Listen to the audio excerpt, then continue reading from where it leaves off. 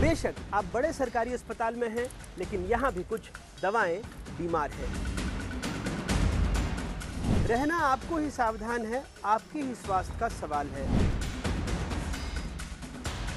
मध्य प्रदेश में मानक नजरअंदाज हैं, जीवन रक्षक दवाओं की गुणवत्ता पर ही सवाल हैं। नौ से अधिक दवाओं, इंजेक्शनों पर प्रश्न, अस्पतालों में इस्तेमाल पर बैन।